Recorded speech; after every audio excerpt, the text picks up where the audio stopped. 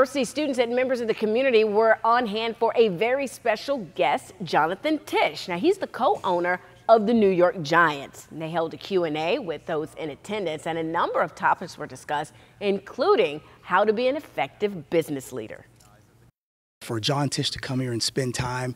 Uh, we're very similar in terms of spirit, service, and strength being our attributes at Lynn University. And with this civic and social responsibility, it was a great tie.